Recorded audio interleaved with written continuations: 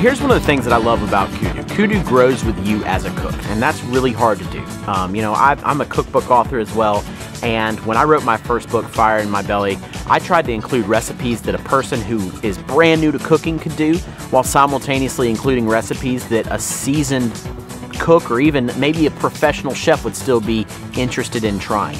And it's really hard to translate that into a cooking device.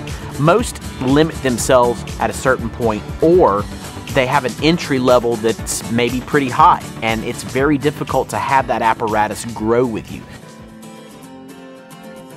Kudu is not that way. I mean, we can do something as simple as grilling a flank steak or grilling a piece of salmon. You know, we'll include recipes and videos on our website that show you how to do something as simple as that. Straightforward, 5, 15, 20 minute commitments.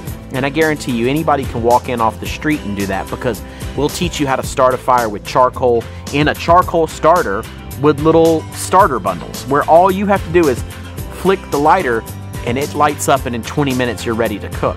Or we can take that all the way to the next level where we're talking about cooking over dual temperatures in two zones. Maybe you're grilling while searing you know, um, we'll show you how to take that to the next level. And if you want to cook over hardwood, we actually bring in a really cool, unique African hardwood that is the hardest thing you've ever felt. It feels like a brick, but what it does is it produces an incredible kind of hickory slash mesquite smoke, which is fantastic, but it also will burn for hours and produce some of the best coals to cook on you've ever seen in your life.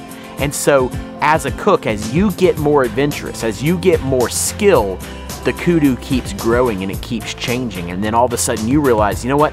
I want to throw a third device on here. I want to have my grill, I want to have my pan, and I want to have my potjie, my Dutch oven, swinging around there, you know?